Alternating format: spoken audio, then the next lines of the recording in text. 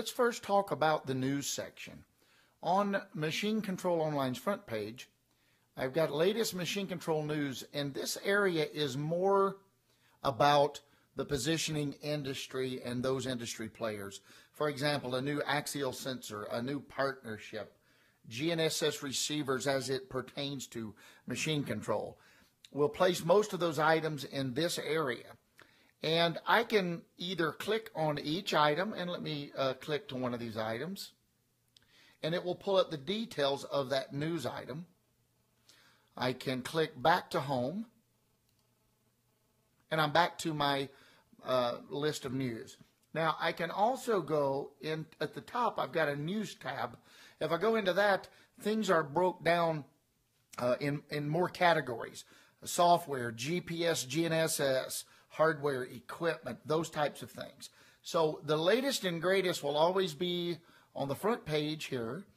Uh, going into the news section, we'll break it down into categories, and you can see older news items there.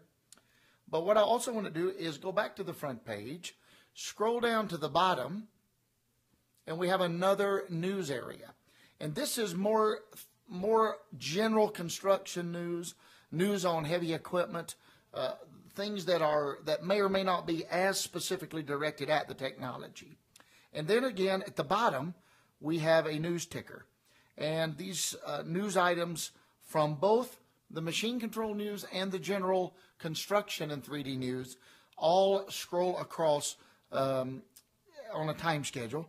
And as they come across, I can click on an item and it will bring me, it will load that particular news item. So uh, to review, I can go news tab at the top here. I can get my latest machine control specific news here. And then at the bottom, I have the general construction news and the news ticker. Again, we try to update these, or we do update these every day.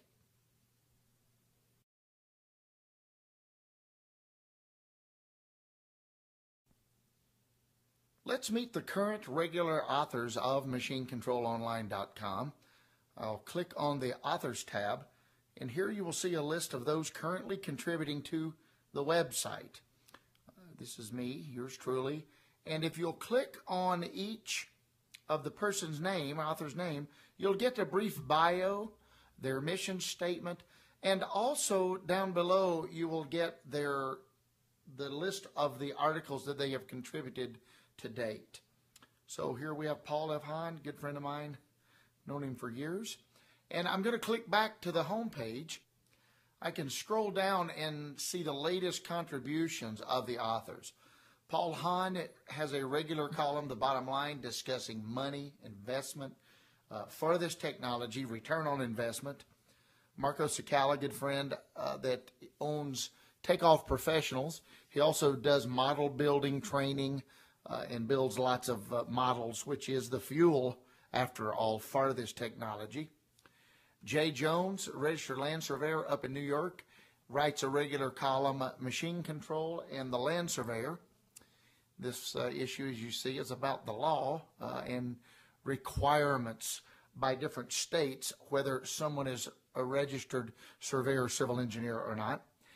Chad Cooper works at Takeoff Professionals also, and Chad has great experience in building model files and shares some of his tips, tricks, and techniques in this regular column.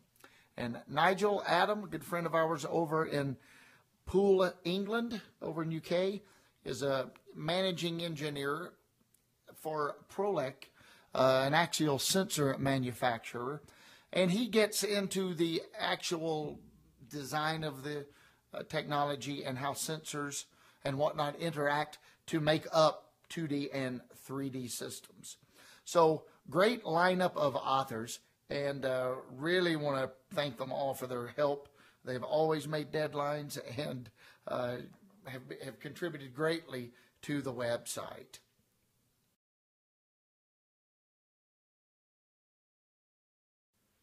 Here at MachineControlOnline.com, we stay in touch with our visitors and those interested in staying abreast of the positioning and machine control industry through our newsletter. Right now, we try to do at least two newsletters per month with a goal of one newsletter per week in the near future. In the upper left hand corner of our front page, you can enter your email address and hit subscribe, and you will receive the newsletter. Uh, also, if you wish to be removed from our list, click this radio button, enter your email address, and hit uh, subscribe, and you will be unsubscribed. Now, I can click here and actually see our latest newsletter. We just do a snapshot of the news from the website. We also have a video of the week. Our advertisers and sponsors are also included. And the newsletter is how we let you know that we have new articles, uh, which we do try to refresh at least once per month. So please subscribe to our newsletter and help support Machine Control Online.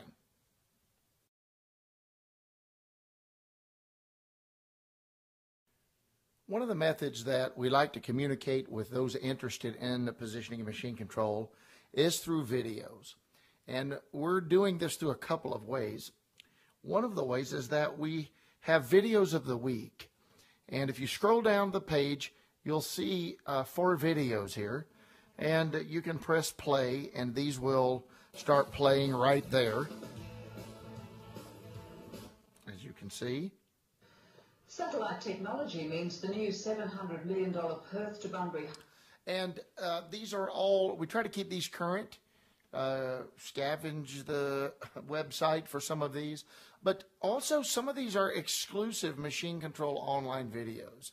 And if you scroll back up and go to the video section here in the left bar of the main page, front page, and click on the video button, you'll notice that there are general industry videos and our exclusive. General industry videos would be what you saw on the front page. Uh, that would just be general in scope. Exclusive would be those that we've actually filmed ourselves. And I try to, uh, anytime that I'm on location, I try to pick up a bit of news, video news for the website. For example, the Machine Control Online Guided Tour is part of the exclusive videos. Uh, another example would be bucket wheel excavators. Back in May, I was in Australia uh, at a coal mine, and there were five of these very, very large bucket wheel excavators, all with positioning uh, placed on them, and it made a good story, good video, and we've had quite a few uh, views of this. So this is the type of thing that we try to do with our exclusive videos. So please stay tuned and look as we post them all the time.